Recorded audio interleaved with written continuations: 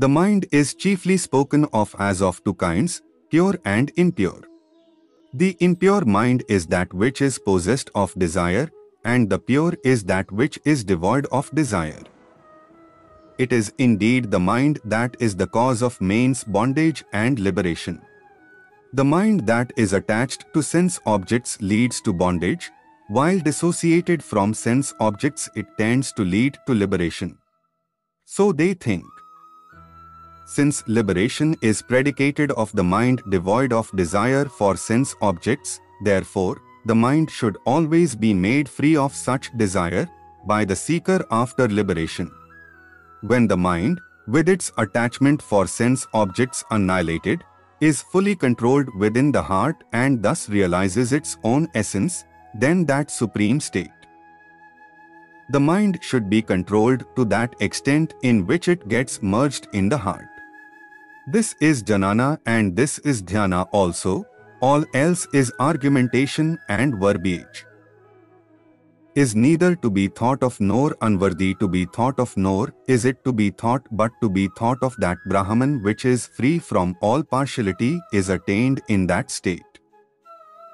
One should duly practice concentration on Om through the means of its letters, then meditate on Om without regard to its letters. Finally, on the realization with this latter form of meditation on Om, the idea of the non-entity is attained as entity. That alone is Brahman, without component parts, without doubt and without taint. Realizing I am that Brahman one becomes the immutable Brahman. Without doubt, endless, beyond reason and analogy, beyond all proofs and costless knowing which the wise one becomes free. The highest truth is that which realizes, there is neither control of the mind, nor its coming into play, neither am I bound, nor am I a worshipper, neither am I a seeker after liberation, nor one who has attained liberation. Verily the Atman should be known as being the same in its states of wakefulness, dreaming and dreamless sleep. For him who has transcended the three states there is no more rebirth. Being the One, the universal soul is present in all beings. Though one, it is seen as many, like the moon in the water. Just as it is the jar which being removed changes places, and not the Akasha enclosed in the jar so is the Jiva which resembles the Akasha.